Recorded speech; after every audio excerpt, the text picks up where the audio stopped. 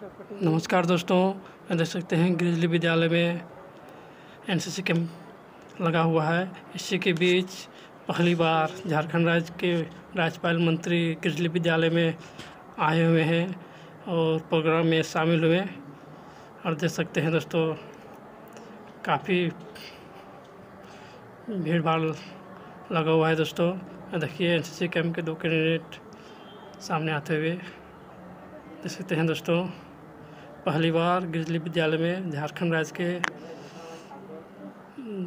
राज्यपाल मंत्री द्रौपदी मुर्मू शामिल हुए हैं।